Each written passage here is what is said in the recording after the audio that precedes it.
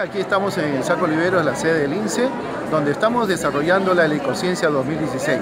Es eh, una actividad emblemática de Saco Oliveros, donde queremos justamente resaltar en el alumno no solamente lo aprendido académicamente, sino también lo que es la investigación científica y llevar a cabo en las cosas cotidianas, ¿verdad? En el día a día, en cosas que ellos puedan, ¿verdad?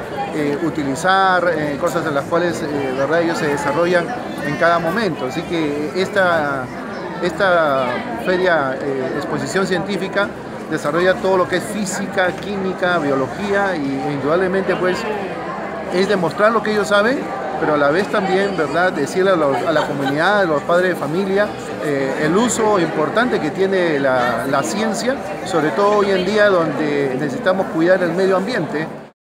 Toda esta energía almacenada por todos estos limones se va a almacenar dentro de esta batería que podemos observar aquí, la cual esta batería va a hacer que prenda la casa, pero con mayor intensidad. ¿Esto qué quiere decir? Que si no tiene muy buena intensidad los limones, ningún limón va a tener una muy buena intensidad.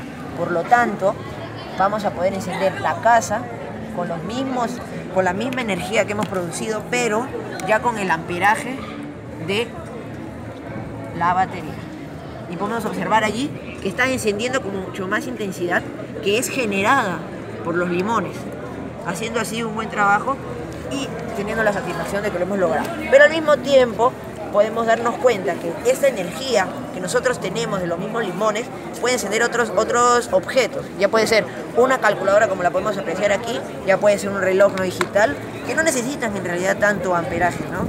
Entonces conectamos para comprobar esta calculadora la hemos encendido con 1.5 voltios. Una pila AA ha podido encender esta batería. Ahorita vemos que no está encendida, no funciona porque le hemos quitado la pila y sacamos los cables. Pero si una pila tiene 1.5, lo podremos conectar a los limones, produciendo así una energía. Pero como no tiene muy buena intensidad, vamos a aumentar un poco el voltaje llegando a 2, 2 voltios y así encender la calculadora muy bien. Podemos observar aquí, que estamos manejando muy bien la calculadora y sigue muy bien. Podemos escribir los números y en eso básicamente consiste nuestro proyecto, ¿no? Darnos cuenta que hay distintas formas de generar energía y muy natural. trabajo que ya estamos desarrollándolo desde mayo, ¿no? Entonces ellos inician ya presentando sus proyectos, ¿verdad? En base a temas que a ellos les, les interesan. Entonces tiene un profesor asesor. Este profesor asesor, ¿verdad? Está haciendo todo un seguimiento, ¿no? Hay una serie de procesos para que ellos entonces eh, lleguen a, la culminación de, esa investigación justamente a través de esta exposición del día de hoy.